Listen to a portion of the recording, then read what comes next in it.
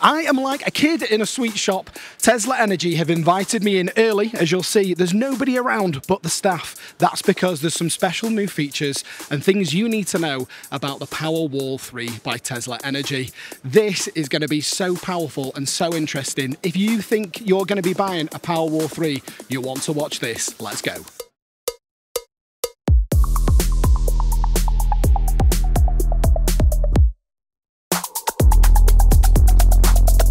So, first of all, let's have a recap of what we know already. I've got the full product suite here, and there's a little bit more later on that I'm going to show you that gives you a real inside scoop. We're going to see behind the lid and also the expansion pack, and a little extra that may well save you a little bit of money, because uh, there's an alternative version of the Powerwall 3 that's now available. First of all, this is the Powerwall 3. You'll have probably seen this in some of the other content that we've put together. So, it's a bit of a recap if we go over it. This is a 13. 13.5 kilowatt hour battery. 100% depth of discharge, that's the full 13.5 kilowatt hours it's fully usable. Now, one of the powerful things about Powerwall 3 is the fact that it's got an 11.04 kilowatt inverter, so it can meet multiple demands at the same time. What this means to you is you could meet the demand of a heat pump, of a cooker, a kettle, all simultaneously. Now, if you've got one of the Powerwall 3s all by themselves, just as a lone unit like this one behind me, they charge up at a speed of 5 kilowatts. Now, the DC expansion pack, which we'll see later on, you increase that charge speed to 8 kilowatts. There are a couple of material differences between the look of the Powerwall 3 and the DC expansion pack. More about that a little bit later. So the top three things that I think you really need to know is the fact that this can be mounted both inside and outside. So the Powerwall is really powerful, as it says in the name. It goes all the way down to minus 20. So effectively, they've got individual cell level heating. What this basically means is in a morning, if it's really cold, the Powerwall's intelligent enough to be able to identify this, run a preheat function, and essentially prep itself ready for daytime use. And I think you'll agree with me is the fact that it's really neat and tidy. It's an all-in-one unit. So I'll show you a little bit about this later on, but effectively the inverters in the top, your battery packs in the bottom. So this is it. That's the kit all housed within this one unit. It looks really slick and tidy. You can have up to four main units of the Powerwall 3. So 54 kilowatt hours of battery storage with four of the main leading Powerwalls. On one of the leading Powerwalls, you can then also have three additional expansion packs. So it makes for a lot of battery storage in the event that you want to go for Powerwall. You're kind of left with any single phase home, enough battery storage should you want to expand to that limit. Now, another thing to know about the Powerwall 3 is the fact that it has three maximum power point trackers. What this basically means to you is we can have three different solar arrays wired into the side of the Powerwall. Now, because the inverter's built into the side, effectively we can just take the cable straight to it. There's no other parts and components aside from an isolator that you would need to use as part of the kit. So this leads me on to the third great benefit of Powerwall 3. One of the options that's available is the Powerwall 3 with a whole house backup, which leads me quite nicely onto this product that's here.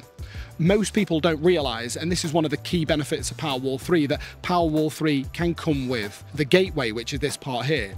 This houses a contactor inside of it that's constantly monitoring for grid outages. If you suffer with lots of power cuts as a home, this system will kick in almost seamlessly to be able to back your home up. So if you're there in the middle of cooking your tea, your tea can carry on cooking, you can effectively have a shower without the grid power.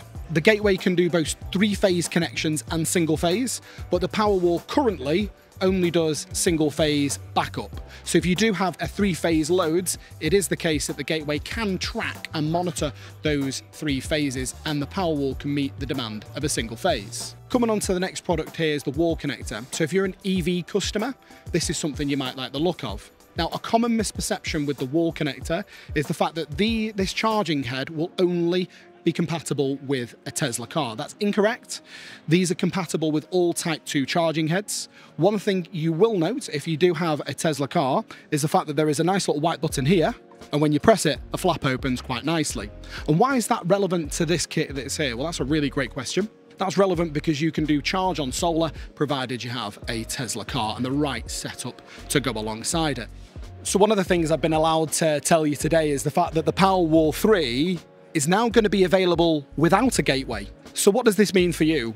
So with the traditional setup that happened with the Powerwall 3, effectively the only option for you is to have it with whole house backup. Tesla Energy have basically realised, well not everybody wants house backup, not everybody gets power cuts. So now with the help of a little remote meter, effectively we can remove this, which would mean a Powerwall 3 installation gets about a thousand pounds cheaper. So in a previous video, I said with a grid application, we'd be looking in the region of seven and a half, 7,700 pounds fully fitted with a gateway, so with house backup. Without a gateway, you're probably closer towards six and a half thousand pounds. That makes it hyper, hyper competitive with some of the other brands and manufacturers that are out there, and you're getting the premium brand of Tesla as well. Now, when it comes without the gateway, the Powerwall 3 still has a 10-year unlimited cycles warranty, so the warranty itself is not affected effectively by the discounting of the gateway. The main difference between the two setups, you still get all the functionality of the Powerwall 3, charging, discharging, its ability to be able to do uh, weather forecasting, all of that great stuff is still completely included within the Powerwall 3. The only tangible difference is when the grid power goes off. So if you have a power cut effectively, if you have the gateway, your power will stay on so long as there's power in the battery or solar being generated. However, Without the gateway, the power would just go off, so the Powerwall 3 would just safely disconnect, and when the power comes back on again, essentially the power would then just re-engage back with the Powerwall 3. So that's the main difference. If you're not prone to power cuts, then you could just skip the gateway, save some money, and go on a holiday instead with it, which would seem to make a bit of sense. It could really reduce the overall time it takes to give you that return on investment. Now, if it's the case that you then started getting power cuts and that become more of a regular occurrence, then we can always add the gateway in at a later date. So I'm going to get onto a behind the scenes look at the Powerwall 3. I'm also going to give you a deep dive into the DC expansion pack and show you side by side in just a second, which I think you'll find really powerful. But just before I do, I get asked so many questions about the actual uh, Tesla Energy app and what it looks behind the scenes for the Powerwall 3. So if you've got a Tesla car already, this will just be a simple If you have a Tesla car, so that's a Model Y, Model 3, or even one of the old Model X's, you'll be able to swipe across from your existing display settings. So you go on your standard car app, swipe across, and you're going to access to the Tesla Energy mobile phone app that looks a little bit like this. It's very slick, it's very intuitive, and it's very simple to use. That's the one thing I would note. You can get really powerful energy graphs, so you'll be able to see how much your home is using, uh, effectively what power has been drawn in from the grid, what benefits solar has been given towards your house as well in a really simple and straightforward, easy to understand format. You'll be able to skip between day, month, and year within these power graphs, so you'll be able to get a real comprehensive overview of what's happening with your energy and how much energy you're saving. You'll then get access to the main page there, where you would be able to see effectively what your solar generation was doing, what the Powerwall was doing, and the demand that's being sought, and what was being drawn in from the grid. If you actually have a Tesla car, one of the cool little features is you'll also be able to see that underneath the garage on the right hand side. You'll see here you'll be able to set up backup usage. So this is if you have a gateway, you'll be able to set how much power is sat in reserve behind the mobile phone app. So if you go off grid, you can make sure there's always a reserve there sat ready and waiting. Now the app may well change slightly depending upon the actual region that you're within, so just check your local app guide for this. But this is what you look like. See, you've got the actual car there that I mentioned a second ago, and you can label the car up with whatever you see fit. If you've got multiple Powerwalls, that's going to show on there as well. You'll be able to see how grid independent you are. If you've got charge on solar, which this has got here, that's going to be able to show, which is a, a feature available if you've got the uh, both a Tesla car and the Powerwall 3 and solar panels all on the same system. The app is really powerful. Let's have a roll onto this DC expansion pack.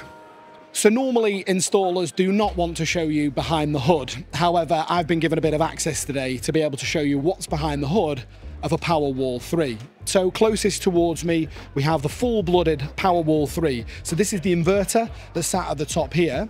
And then to this side, we have the DC expansion pack. One thing you'll notice is the fact that they're extremely similar. The main difference is the fact that the Powerwall 3 is ever so slightly wider, but they share the same height and width dimensions. The really cool thing that they've come up with is the fact that they've got a little connection lead that goes between the side. So to be able to expand the Powerwall in the future is a really straightforward process process. It's a really simple lead, a bracket, and you can effectively put a DC expansion pack by the side. Well, they're both 13.5 kilowatt hour batteries. The DC expansion pack effectively just doesn't have the inverter at the top, so it's battery only. It's therefore significantly cheaper than a full-blooded Powerwall 3 you can either mount the DC expansion pack to the side, like you can see demonstrated here. You need to buy a glass front, so it can be slightly more expensive that way. Or you can mount a DC expansion pack behind the back of the full Powerwall 3. You can actually mount a total of three expansion packs to one of the main leading Powerwalls. So, as an engineer myself, and this is getting into the real nitty gritty here, I absolutely love some of the techie bits that they've actually done with the Powerwall 3. So, if you have a look here, this is your battery pack. So, this is 13.5 kilowatt hours worth of battery storage. Look how small it is. I know that sounds really crazy, but some of the other battery manufacturers you see out there have massive battery packs to get 13.5 kilowatt hours usable energy packed all into the base there. So that's something I really like. We have our AC connections down the side so they can get let in. There's little metal bungs that we can knock out at the side there for any stuffing glands. Or what I really like when we're setting these up is rear entry. So you'll see here, there's little rear entry blanks so we can knock these out, come through the back with cables and wire in so they look floating on a wall. It's something that you'd have to ask your installer specifically about and it's of course case specific but the fact that they've thought of these tiny little bits from a functionality perspective I think is pretty epic. We've got data connections up the top, we've got like an RS485 connection so if the Powerwall sat without a gateway this basically can give the Powerwall the data and information it needs to know what your home is doing so it can react to home demands. And then we've got our DC connections over at the side. You'll see there one, two, three, indicating the fact that there's three maximum power point trackers. The one thing I like is the fact that these use a little bladed connection instead of an MC4 which is, I think, just a little bit simpler actually from an engineer perspective in order to be able to physically wire it in. If you're watching from over the pond, your version may well be slightly different to this one we can see here. And the ones over in America actually have six maximum power point trackers, so you can have six strings. If you think about it, you can wire up to 20 kilowatts worth of solar, which is essentially three strings of about 15 panels each, all into here, and this inverter can process all of that energy. It's absolutely tiny by way of an inverter. There's a load of redundant space, if anything, that's simply just done for the external aesthetics. We then have these little tiny grub screws that go in the side that must be replaced every time we take the lid on and off because this is fully floodproof, effectively up to about 60 centimeters, I believe, all the way up to here. So if there was outside and there was a flood, the Powerwall can effectively continue working. And as I say, the only main difference between this one here and the DC expansion pack straight next to it, it is simply just the fact that it doesn't have one of these in the top. The thing to know, if you do have an expansion pack, your rate of discharge, so the 11.04 kilowatts doesn't change, but your charge speed does. It goes from 5 kilowatts to 8 when it's combined with the two together. There's a few different sizes of harness lead. It's not one set size. If you can't have the expansion pack right next to it, or you can't have it behind it, because maybe there's a car blocking in your garage, you could effectively mount this further away if you wanted to, because there are a few different harness sizes. The harness can also go in the left and right, They've just kind of thought of just about everything when it comes to the techie side of things. And as you'll see, they're simple, straightforward, and I really, really like them. If you want to find out a little bit more about the Powerwall 3, I did a full deep dive over at Tesla in Manchester where they very kindly invited me over to their store. So make sure you check it out. Thanks for watching.